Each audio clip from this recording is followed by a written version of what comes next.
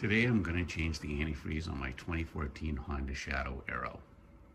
My bike came with Honda's green Type 2 coolant in it. I started using this in 1999. The coolant that Honda sells now is blue. It's the same stuff, for some reason they changed the color. They are compatible, but if you mix the blue with the green, it can give you a sort of brown color, and I don't want that. Now I am going to flush it with Honda coolant. And the reason for that is I don't want to add any water because it comes as a 50-50 mix. The day before I did this job, I ran my bike in one place and made sure that this fan came on. And if you look closely in there, there's a fan blade and you want to see that spin. Now the reason I did this is because after I add fresh coolant, I'm going to want to run it until the fan starts to spin again, and then I know it's up to full operating temperature. It's a good idea to secure your bike in place and jack it up so you can get a drain pan underneath it to collect the coolant. Now this isn't totally necessary, but I'm going to remove this cover because I want to drain the overflow tank and there's a screw behind it. So there's one Allen key screw here, and back here there's a cotter pin that you have to pull out in order to uh, slide the cover towards you.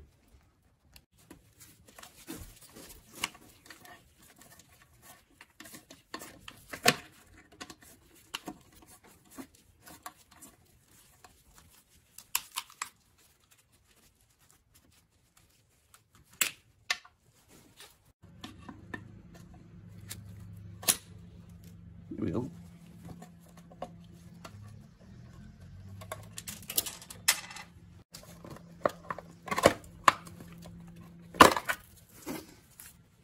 There's also a grommet here.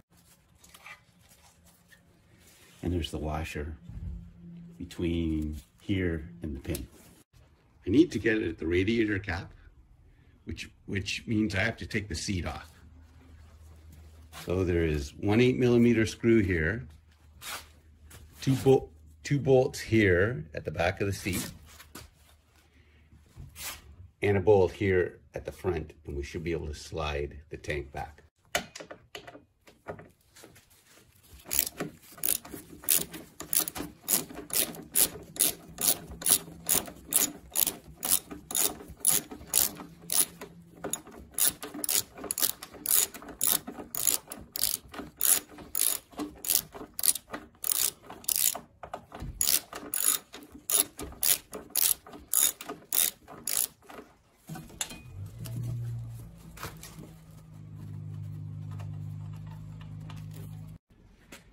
One each side here. Yours will be Allen key or Torx, but I changed mine to a Phillips head screw because I found the others a pain in the butt.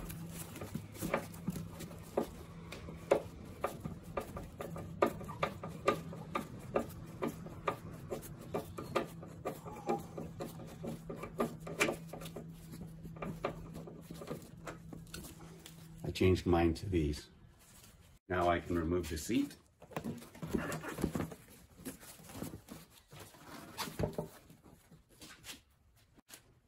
Just an FYI, that's a Mustang seat, so it's an aftermarket seat, not the Honda seat. Next, I'm going to remove this bolt. It's a 12 millimeter.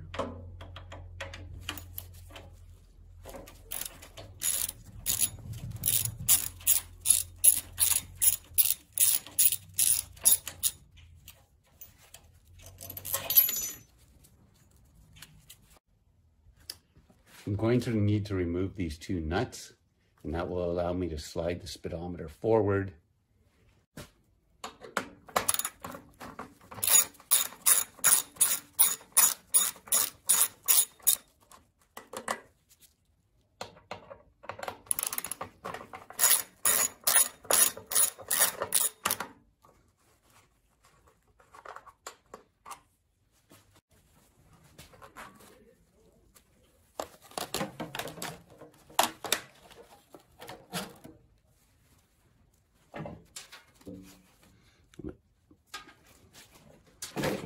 two rubber bushings under the tank. We just need to slide them back past that.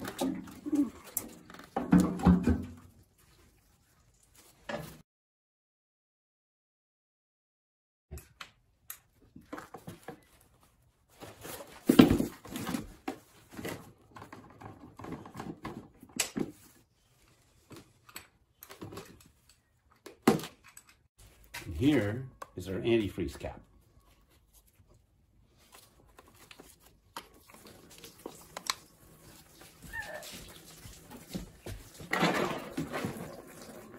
When you undo that, it releases the vapor lock and allows the coolant to come out.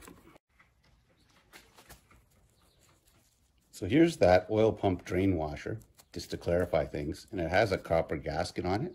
So when you're in there looking at your oil pump, look for that copper gasket.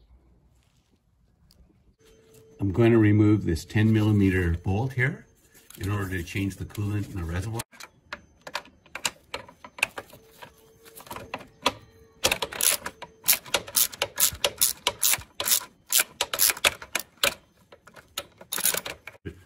There's a vent tube over the top you can see right here.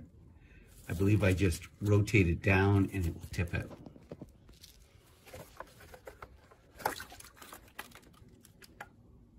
Easy as that.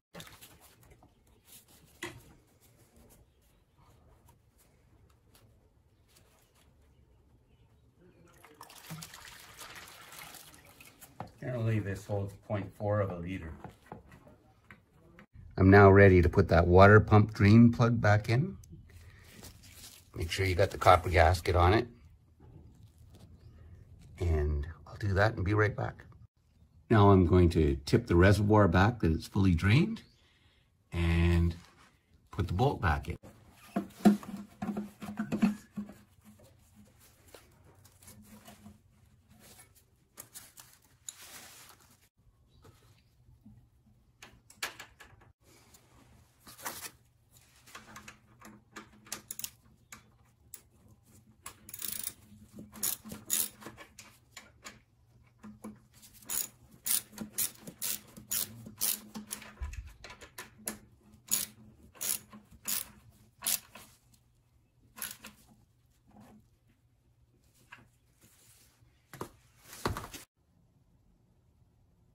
Okay, I'm gonna fill up the radiator. The manual says 1.58 liters. I've cleaned my funnel, I've rinsed it out.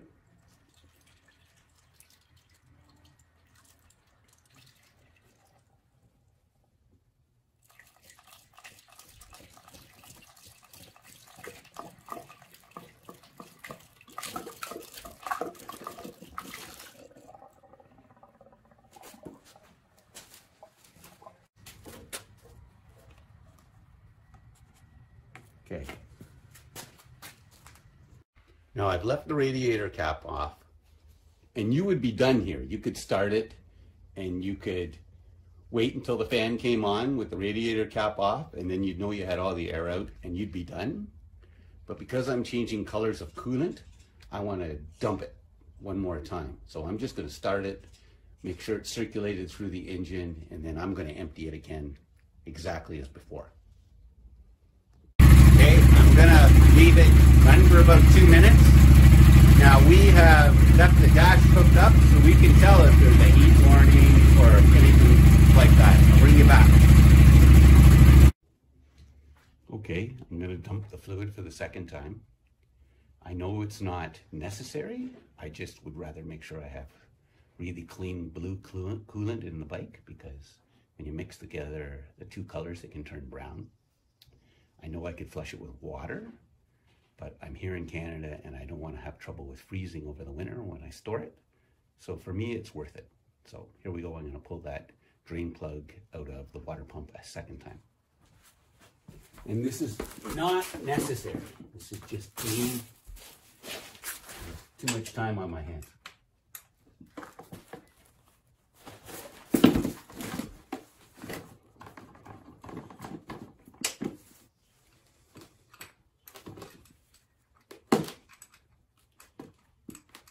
Well, it looks to be good. Looks like this is going to be a waste of time.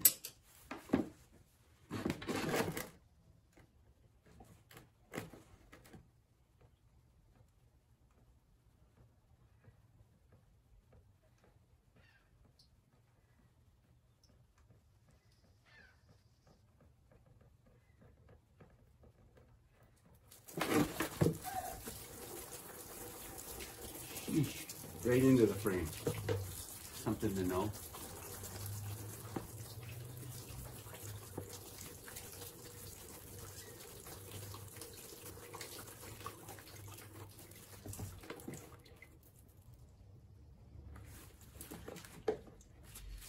Well, from first glance, I would say you don't need to do this.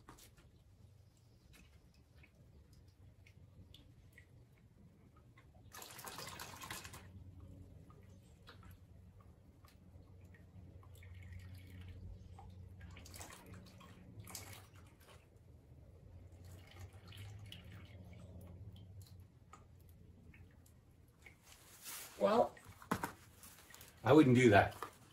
So I'll put new coolant in again and I'll show you the reassembly. Here's a picture of the water pump and you can see I have the drain plug partially in. I'm just tightening it up. Take a good look at it because that's the one that you drain from. This one right here. Now don't forget to add coolant to your overflow. Manual says 0.4 of a liter.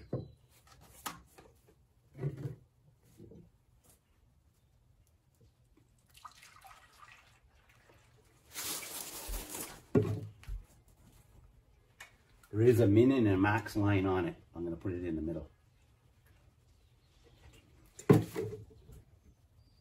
Perfect. Right above the flow.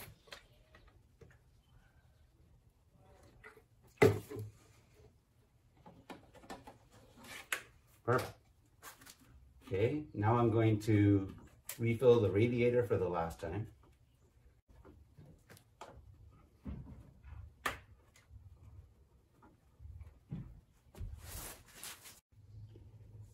I'm going to fill the radiator for the second time, just like before.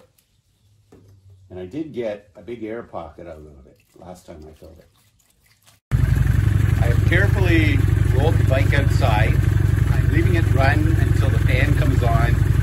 I have the radiator cap off so that I can watch the level and if it needs more I'll add. It did start to boil over on the radiator once it started to circulate. So I put the rad cap back on. I don't know if you can see it or not, but the fan's running and we're good to go. Now we're gonna do reassembly. Remember the tank slides over these. There's one on each side and there's hooked steel fittings on the inside of the tank. So take your time and slide it on the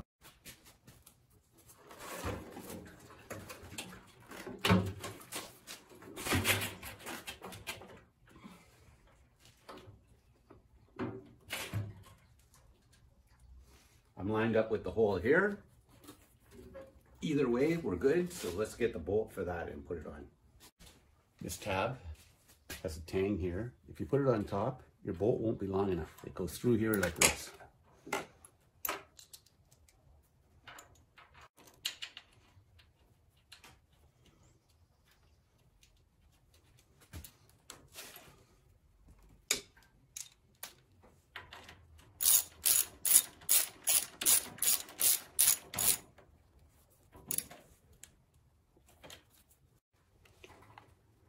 Now we haven't disconnected this, what you need to know is this slot goes over top of this piece here, and you have to keep the wire out of the way of the slot or you'll never line up the holes.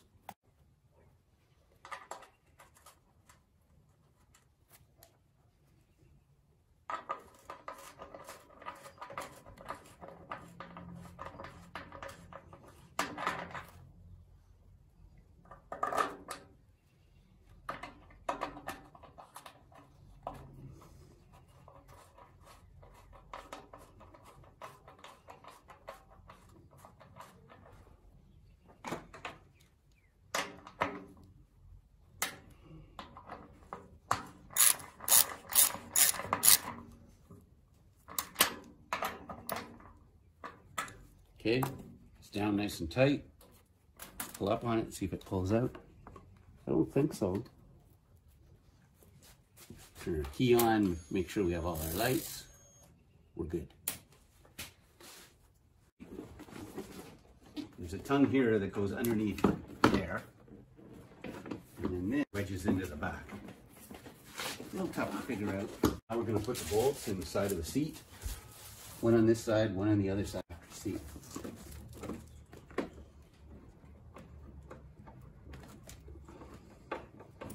നമസ്കാരം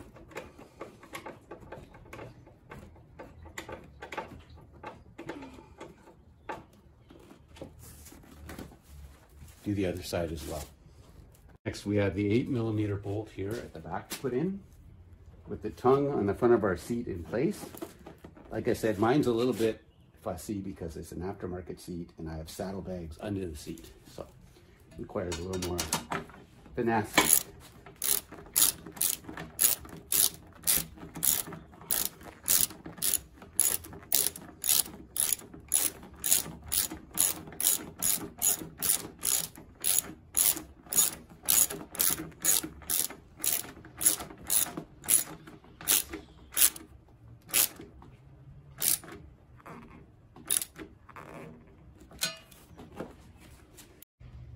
last thing we have to do is to put this cover here. So in this hole goes this post. And as you can see, a washer goes on and then the cotter pin goes through this hole. Down here, we get a bolt.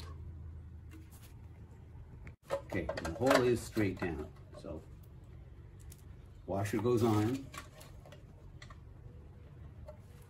Feel for the hole. There you go, no tools required. And we have this Allen key down here.